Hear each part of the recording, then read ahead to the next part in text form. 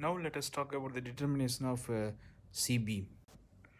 Uh, consider this is a beam segment with the uh, braces at this 1 and 2.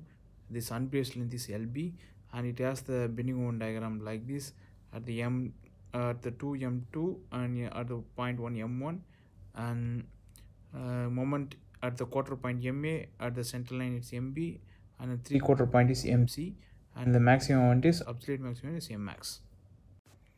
So we can calculate the CB value as 12.5 Mmax divided by 2.5 Mmax plus 3 MA 4 MB MB plus 3 MC.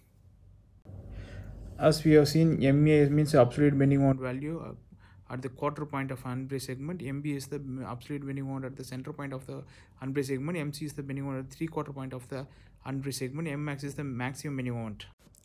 A beam segment bent in single curvature and subject uniform bending moment with equal values of MB is called CB value